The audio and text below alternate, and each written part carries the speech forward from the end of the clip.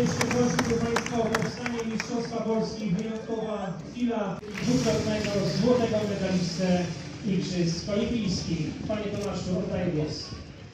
Drodzy Państwo, w imieniu Miejskiego Związku i prezesa Henryka Olszewskiego, żeby bardzo podziękować włodarzom Lublina za to, że już teraz widać stworzyli wspaniałą imprezę, która naprawdę na długo będzie pamiętana. W tym świetnym stadionie Szanowni Państwo, witamy w Lublinie najlepszych e, polskich lekkoatletów. Witamy serdecznie po 34 latach od e, wielkiej sportowej imprezy. E, W wielu latach Lublin znowu jest stolicą polskiej lekkoatletyki. 94. Mistrzostwa Polski w lekkiej atletyce uważam za otwarte. Wielkie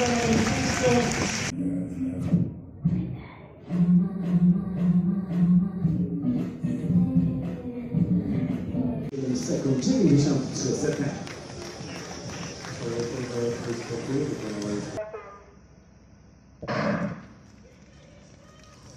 Najszybciej w tym sezonie wśród startujących Wigori. Na piątym miejscu Natalia Wędlarz 54,97, a szósta Adrianna Janowicz 54,9. Zabrakło, zabrakło ostatniego kroku, ale brawa dla Adriany. Dziennie zyskała.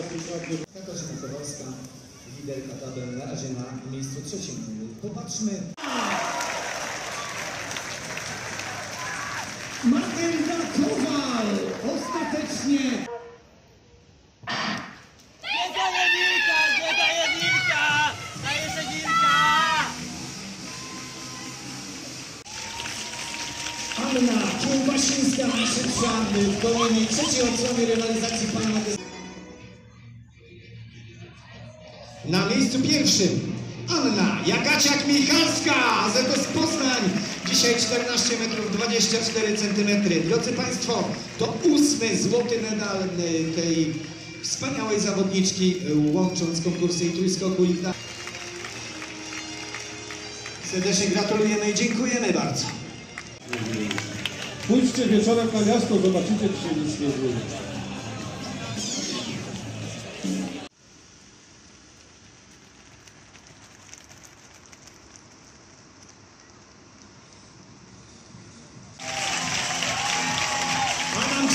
Szok, bezapelacyjnie najszybszy biegł na dystansie 1500 metrów, 3,46 i 25